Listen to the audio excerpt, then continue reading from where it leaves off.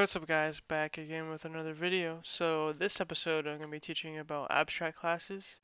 And um, so what is an abstract class? Well, I'll try to explain it. So sometimes you want to have methods in your superclass that provide a template for your subclasses, but they don't actually do anything themselves when called from the superclass. And they, they actually can't be called from the superclass, but um, they only give the name of the method. That's what that's the only thing you're defining inside the superclass. But in the subclass, you have those methods, right? But in the superclass, you only have the name of it. So it's, it's hard to explain, but because I'm bad at explaining. But uh, when you do have an abstract method in your superclass, then you must override it in your subclass, but it has to have actual code inside of it. Because your superclass, abstract superclass, is not going to have code with it. So let me just show you. So let's go ahead and create a new uh, Java class. I'll just call it um, what's a good example?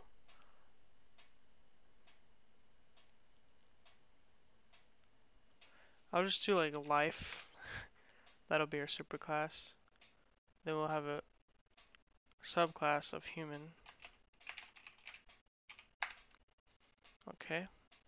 So human will obviously extend life, so extends life. There we go.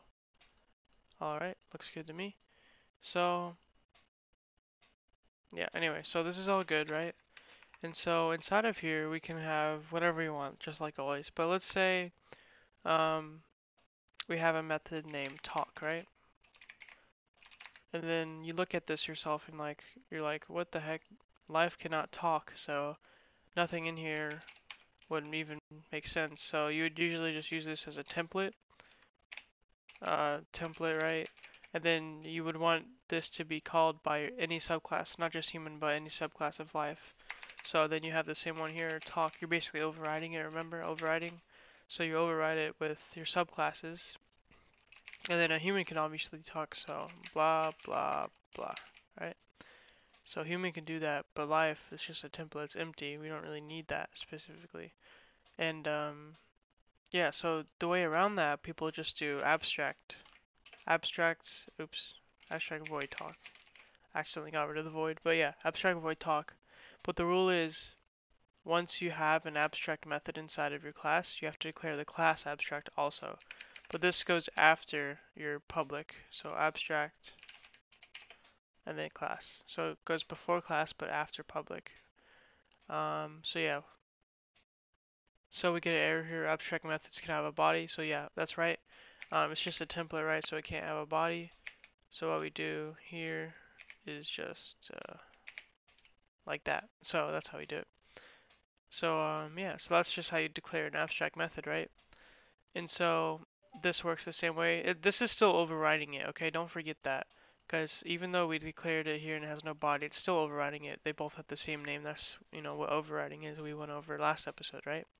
So that's good. That's all fine and dandy. So um, let's try doing this now. Let's go to our main method. Let's make a new uh, human. New human. Oh wait, I'm doing it wrong. Of course, I keep doing that. Human.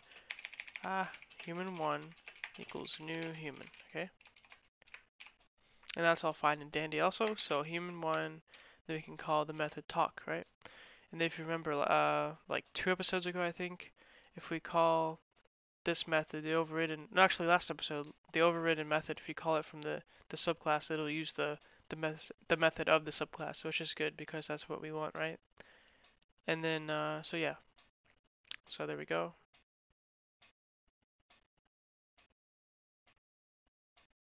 So we're just running it, right? It's taking a long time.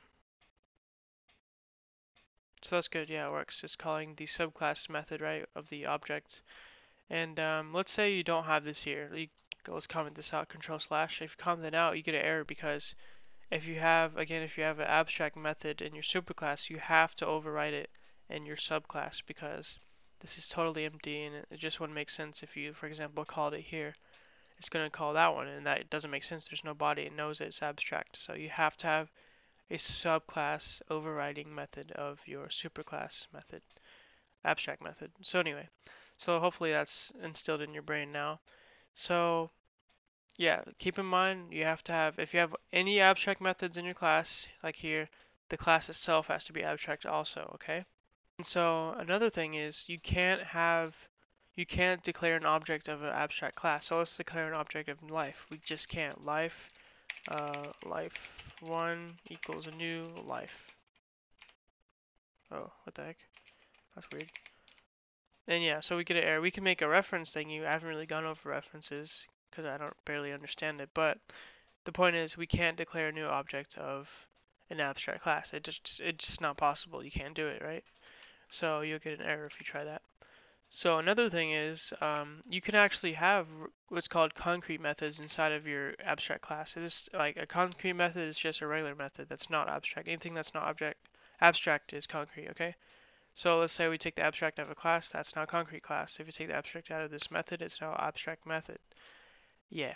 So we can declare um, abstract methods just like before in here, so it works the same way. So talk more, for example, we'll have that method in here and we'll output um, blah like that. Okay, so we can call this um, just like before, all easy, easy peasy.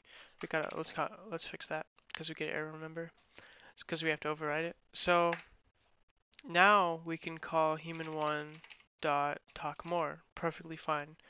Um, so the thing is, you can't declare a new object of the abstract class, but you can use you can uh, declare an object of the subclass and use its super, so the super method or whatever you call it.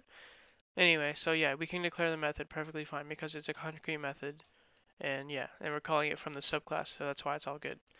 So, hopefully that made a little sense. Um, yeah. yeah, the whole point of this, um, sometimes when you're coding, you'll see that you have like templates in your superclasses that don't make sense to have filled out in your body.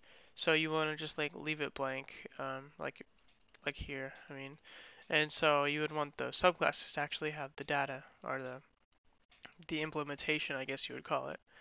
So anyway, I hope this um, explanation was good for you. If you have any questions, uh, leave a comment. I'll help you. Um, if you want to leave a like, I would like that. um, subscribe if you want to see more. I'll be posting more like pretty much every day. Um, join the Discords in the description, and peace.